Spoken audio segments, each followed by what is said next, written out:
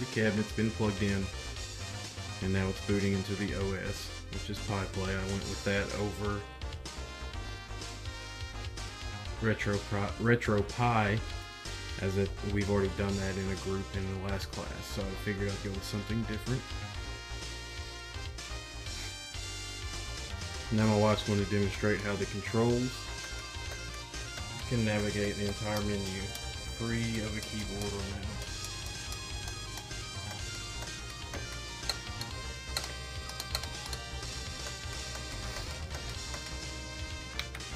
And she's going to pick a game. Control button and select. She's going to go to her favorite. You can hear sound. I don't know if you can hear it on the video.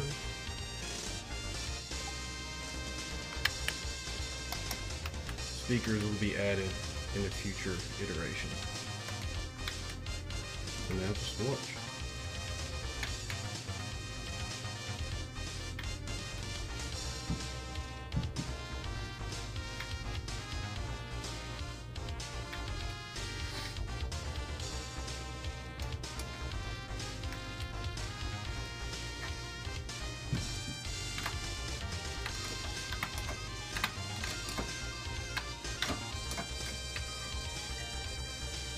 My wife might cry because she died that fast, and she is very confident in her Mario skills.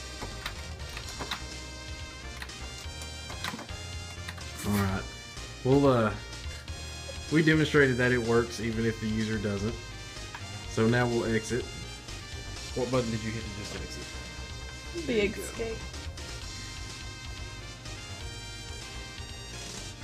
So now she's going to pick another system. She's going to go back. Again, using the arcade buttons for everything.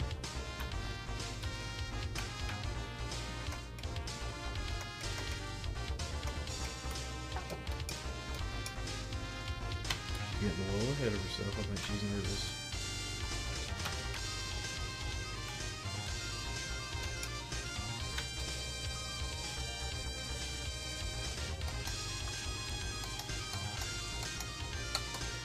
Out.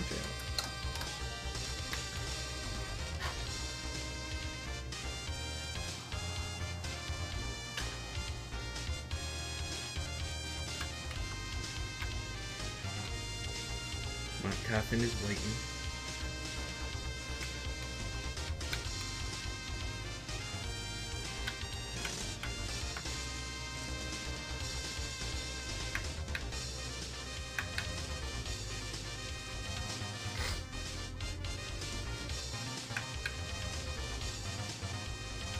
First two green buttons.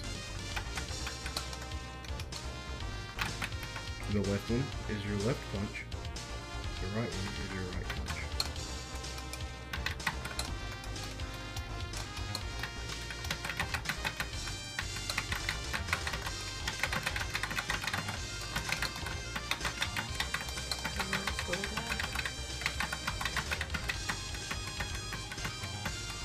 If you don't hold up, you'll hit him in the gut sometimes.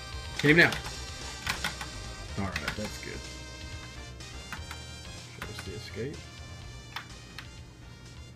And now we'll show you the inner workings. Now we're looking at the insides. You can't see this part on the other upside down, but I do have a picture of that showing you how that's wired.